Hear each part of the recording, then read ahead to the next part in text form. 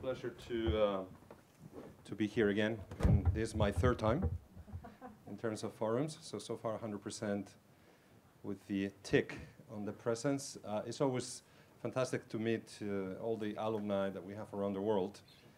And particularly to be able to share, uh, in my case, uh, practical applications of what we do, right?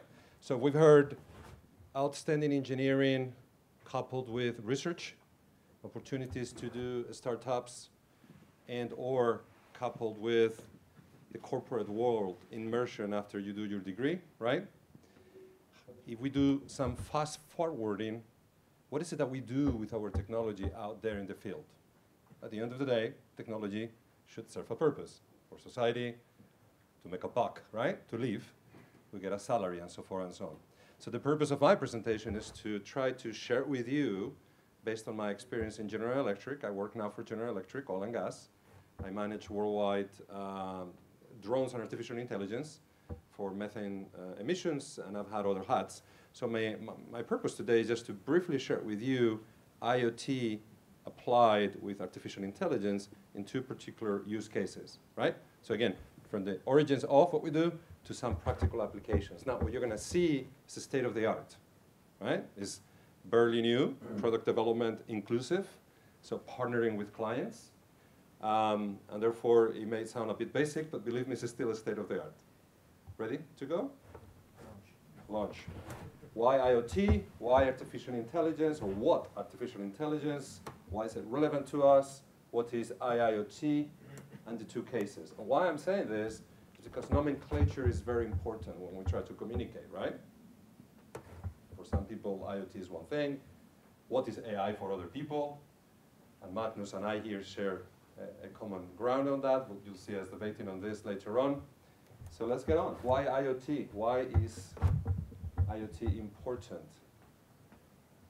IoT is things connected to sensors. Sensors read the thing, KPIs of the thing or the environment.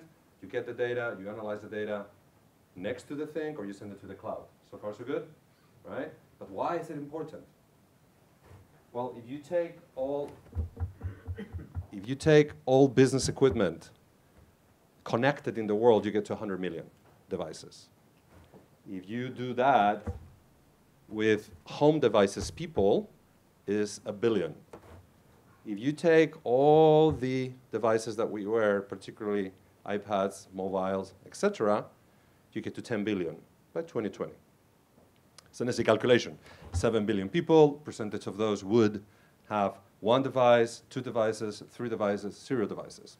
So 10 billion, right?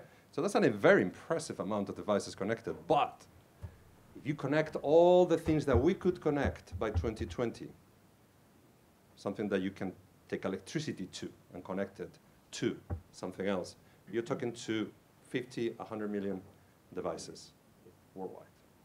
That's just the beginning. The order of magnitude of the data wave of Internet of Things is going to blow away all this Google data that we get from our cell phones, right? This is the next data wave. In the future, just imagine how many things can be connected. So IoT, particularly for engineers in the industrial space, is of increased relevance. And I was very pleased to see at the Institute Lafayette the work we're doing with the sensoring part of it. Because to get the data from the thing, you need the sensor, right? And I think we are in the verge of something important here. What is AI? I'm sure if we had an hour here and 50 people, we'll get 100 answers in three hours. Would, would you agree? Right? And I'll, leave, I'll let Magnus take us through that path. But this is one very simple definition that I've seen that I really, really like. AI is not one technology, it's many technologies. And when you hear we're doing AI, most likely we're doing deep learning, which is pattern recognition, to which if you add predictive analytics, you get machine learning. So at most, what we hear normally in industry is deep learning with some predictive uh, analytics add up to machine learning. I'm going to show you the machine learning part of AI. Fair enough? Why are those two relevant to us? Why should they be relevant to us? Well, certainly because there has to be an economic and a social impact, right? And it should be both, not just one. When we take a look at the path of the digital impact in our economy, what we are now here is in the insight economy because we are able to not only gather large amounts of data, thanks to digital, which is IT on steroids. That's what I also teach my students. Digital is IT on steroids, meaning you basically have the cloud, which allows you to process large quantities of data accessibly and affordably. You have the platform, which is the analytics way to gather that data and do something with it. And then you have analytics, which is the algorithms that let you run it. Once you have that capability to process that large amount of data to extract value, then associated to things, you're starting to get an insight economy. And the, the word here is insight. So data is oil, right? You've heard that? I'm not very impressed with that comment, to be quite honest with you. It's a good analogy, it's a good buzzword, but data in itself is cost, particularly when only, what, 30% is curated, 20% is connected, 5% is real time, right? Let's see what you do with that. What you do is you take data, you convert it into information, you convert that into knowledge, you take insight out of that knowledge, you take actionable insight, and then that insight becomes adoptable. That's what you want to do. You want to get from the data to adopting insights. And therefore, that's the insight economy. And IoT is very well positioned to achieve that. But most importantly, it is not just about what technology can do today, it's about how it's affecting us, right? And this, you're going to see that now in the, in the examples. The key word here is what? So you have different technologies, and they. You have different technologies, right? And these technologies couple each other, overtake one the other. But what we're seeing is three of those being foundational, IoT, AI, and blockchain. Fine, fair enough? So those two combined are very powerful, and it's not because they foster change. Change is a constant, you know that. It's because they accelerate change. So every time you hear somebody saying, I have a change plan, sounds boring to me. Because the reality is that what we need to have is a plan to accelerate change. And those technologies are just doing that for us. So that's what's relevant for us as, uh, as business, people, society at large. Um, therefore, what is IIoT? Well, this is a term created by General Electric. That's where I work. IIoT is the industrial things plus analytics. So you take an industry, meaning oil and gas, that's where I work, chemical industry, automotive, you know, huge field of tubes, cables, machines of all kinds, right? And then you start connecting sensors to get data from it, not just the reliability of the thing, but how is the thing behaving.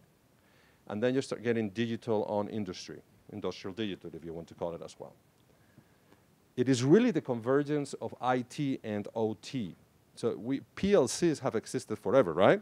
You've done your, a lot of work at engineering with PLCs. So it's not that digital didn't exist at the industry floor, is that we've taken that data, the OT part of it, and connected via routers, cloud, platforms, analytics, to an environment that we can extract value from it. So we've converged the IT on steroids digital with the operational technology, which is the data that you're extracting from the machine at that moment. Is that convergence that is IIoT. And that is the new digital space. Has to do with the productivity of things, which is mostly what we do as engineers, isn't it?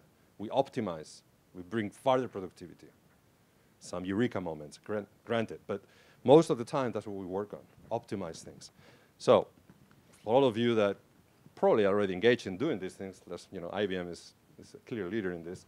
This is the space we're working on. So let's discuss one case. Now, it sounds maybe boring to some of you, but predictive maintenance is very important for the business.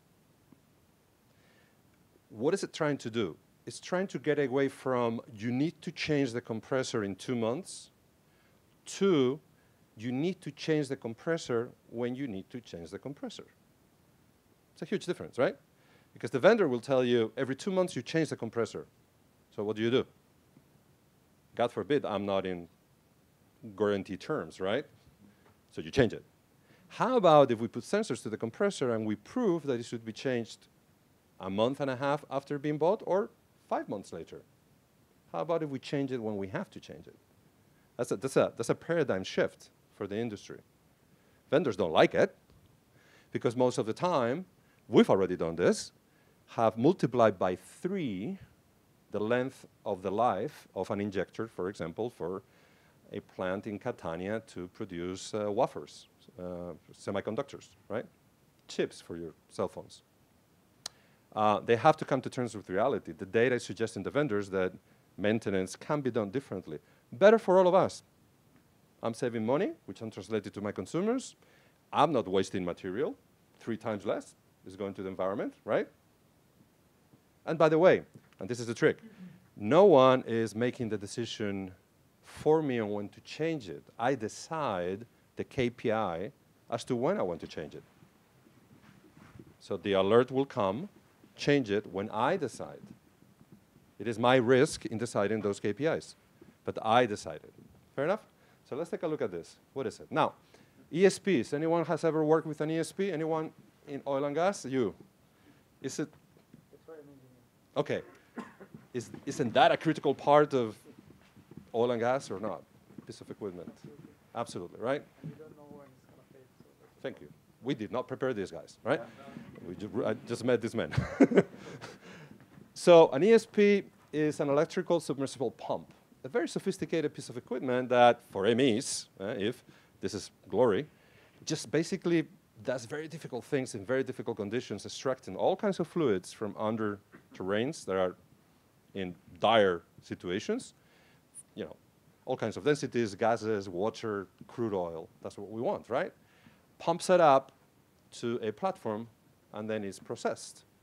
So far, so good. Sometimes it's not just a you know, straight down piece of equipment, as you see. Sometimes it has to take angles, and you know what happens when you have angles, right? Things get complicated. Where do we use these things? Just imagine a platform, 150 kilometers offshore platform of the coast in the Arctic Sea. It gets cold there once in a while, right? Now, that platform, some of them are floating, some of them are not. When it's very deep, they're floating. That platform basically shoots down some piping where you have at the very end the ESP, which is subsea underground, extracting the oil, the crude oil and what have you, right? Now, just imagine that the ESP breaks down. Again, 150 kilometers of coast, in the middle of winter, about 10 kilometers down, the thing breaks down. Wouldn't you want to know when it breaks down, before it breaks down? Wouldn't that make a difference? Because you shut down the offshore plant, you have to call a crew, you have to order the piece, unless, of course, you have many pieces around, ESPs, which is a lot of inventory cost. You agree, right? So the whole equation, the total cost of ownership of an ESP offshore platform, to make it, you know, more profitable if you wish, safer if you, if you wish, because hey, if I know a, a storm is coming and I know this thing is going to fail in 20 days, and I have other maintenance to do, how about if I do it now? It's less risky, unconsolidated maintenance, so the whole equation is very simple, isn't it? So meet, uh, now uh, meet what we call uh, asset management. So when you start doing asset performance management, what you do is attach sensors to the thing according to KPIs to start understanding when this asset is going to fail. This, has been, this is software. It's been going on for a long time. The outcomes are clear, right? Less, uh, less reactive management reduction, risks, inventory costs, TCO, availability increase, and employees are happier and work better, right? Uh, what is really about is that you're creating actionable business insights. I know what the impact of the business is if this ESP is going to fall, it's going to fail, therefore I take action before it does because I have predicted it properly and I can plan for it. Right? Remember the data, actionable insight, that's what we're trying to do here. I'm going to show you one slide of a real dashboard that then I'm going to play to you in a video. Unfortunately, uh, our equipment is not Steve Jobs friendly. So the video I will show you in my little screen. and I'm going to ask you to gather around me a bit, if you don't mind, to see what happens, and that would be a fun thing to do. We stand up a bit too, right? Nothing wrong with that. Um, so what you're going to see is a dashboard that reads the following. So this is the remaining useful life. Here is a calculation of the life of, in this case, the ESP. Here is a log of when you detect anomalies. Anomalies are anomalies. It doesn't mean that it's a terrible thing to happen. It's just something is happening. Something is happening because you have sent, well, you have set up actually KPIs that determine a range of good or not good. That's all. So the anomaly needs to be understood. Here is, oops, sorry about that. Here is the reliability of all the KPIs that you have decided to have. So you, you decide what KPIs you want to follow, pressure, temperature, rotation, right? Grinding, vibration, whatever. Here you have all of those versus risk. But that's not the fun part. That's not the fun part. The fun part is this one. This is a graph that tells you the percentage survival in 30 days of that piece of equipment. You could say 20 days. You could say 50 days is your criteria as to when you want to expose your risk in terms of having a shutdown, right? So this is a percentage survival in 30 days. That is that the machine is going to be in an uptime for the next 30 days. If you decide that is 70%, 30%, it's your call. It's your decision. But at least you know that the data will tell you when it will shut down. Now, you want to gather around a bit? Uh, show you the video?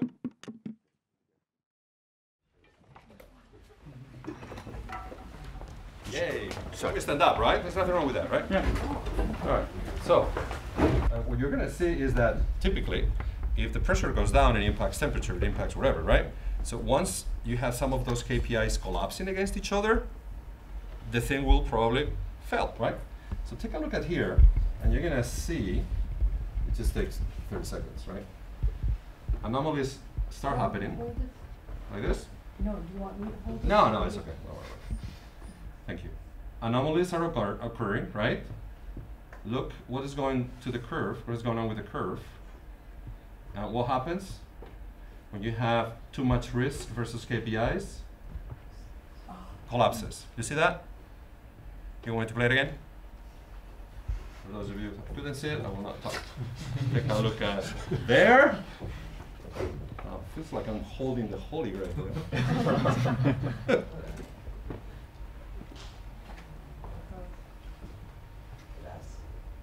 here. Tell me when it finishes. But Not- uh,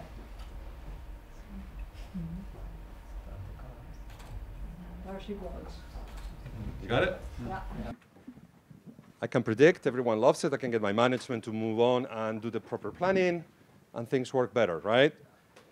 Another good thing about this is that if I include additional AI, I'm not really interested in what's happening to the ESP. I'm interested in what's happening to the transformer that runs the ESP, the pipeline that is uh, attached to the ESP, because if one thing breaks, the other one breaks, and so forth and so on, right? The adjacent equipment.